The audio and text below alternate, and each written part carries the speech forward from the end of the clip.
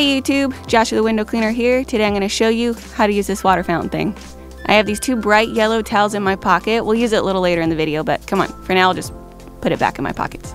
So these are all the screens from the house. I had to go up and down the ladder to get a couple of them, you know, do what you gotta do. Oh wait, hold on, hold on. Before I do anything else, I need my special squirt bottle. It's full of all natural ingredients, vegan and gluten-free. Go ahead and spray down the screens in a very squiggly formation. Put that down. okay. And then pick up that screen. Gently slide it into the water fountain thing. Just move that bad boy back and forth. Get it super sudsy. Make sure you get all of the dirt off of it. Back and forth. Go ahead and slow it down a little bit. Just let the water run directly onto your shoes. No big deal. And then just continue with that back and forth motion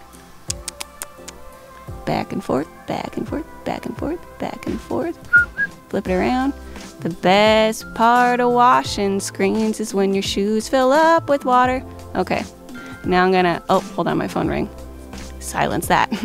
okay, so just give it a little tap tap and hit off any excess water on the screen. Make sure you wipe down the frames, that's very important. And then you're just going to find a safe space for these screens, somewhere where the wind isn't going to blow it over or a car isn't accidentally going to back into it. Make sure those, those frames are wiped down. And then just lean it up against something at an angle. That way any excess water can run out of it and they're nice and dry. Uh, for when you hang them back up on the house. So anyway, I don't really feel like washing the rest of these screens. I'm gonna have Rob do it. Uh, I'm gonna go hang out with my wife. But anyway, so I hope you learned something and I'll catch you on the next video.